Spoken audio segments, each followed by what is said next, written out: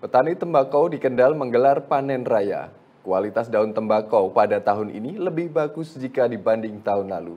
Kini petani meraup lebih banyak keuntungan karena harga yang bagus.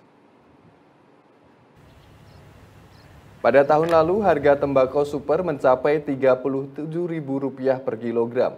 Namun kini bisa mencapai Rp40.000 per kilogramnya. Secara umum, harga tembakau tahun ini cukup tinggi. Namun dari segi kualitas masih bagus tahun lalu. Cuaca sangat menentukan kualitas tembakau. Kasnan, petani tembakau di Desa Kedung Gading Ringinarum, mengatakan tanaman tembakau kali ini cukup bagus karena tidak terkena hama penyakit. Selain itu, cuaca juga mendukung daun tembakau karena nampak tebal dan hijau. Harganya pun lebih tinggi jika dibandingkan dengan tahun lalu.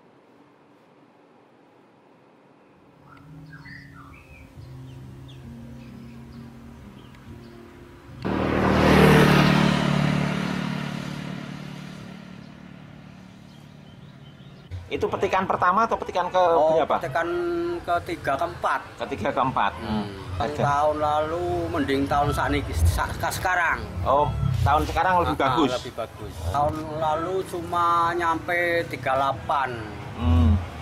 37, Tiga, tiga delapan, tiga tujuh. 37 tahun yang tahunnya lalu. Ta- kalau sekarang sampai Sekarang sekarang aja ya mungkin bisa nyampe 40-an lah. hmm, tembakau ya. Ah, ah, ya sak kecamatan lah istilah sak kecamatan.